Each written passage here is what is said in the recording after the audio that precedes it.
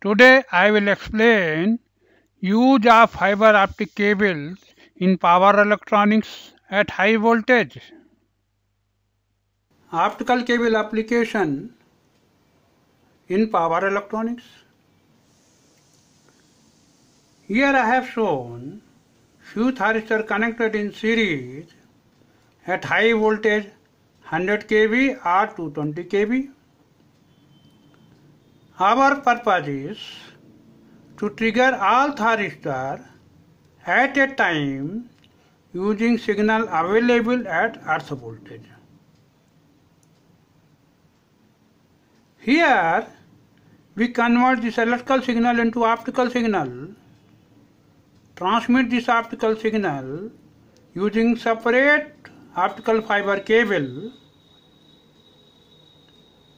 This circuit converts optical signal into electrical signal, amplify this and trigger this thyristor. Similarly, this circuit converts optical signal into electrical signal and trigger this thyristor. If there are three thyristors, there will be three circuits. This circuit does not require any external power. It draws the power from here itself. Similarly, suppose we have to send some monitoring signal from here to here, we use another cable in reverse direction. This electrical is converted into optical signal. This is fiber optic cable. Here again we convert optical into electrical signal. So for each thyristor, we use two cables, one for transmitting data, one for receiving data. If there are three, there will be three cable forward direction, three in reverse direction. Here we have 220 kV. A CT is connected. There is a circuit here which is connected to 220 kV. This is electronic circuit. This measures the current or any other parameter whatever we want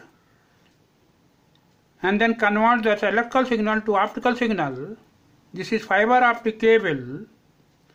We receive here optical signal, convert into electrical signal and use for monitoring or protection. This circuit board again draw power from this 220 kV line itself. No separate power is given. We also use optical cable in very high electrical noise area. Distance may be less, high voltage may not be there, but because electrical noise is more, so we have to use optical cable. In locos connected in the train, use optical cables for normal signal transmission also, for triggering also, or for any other application. Today this much only.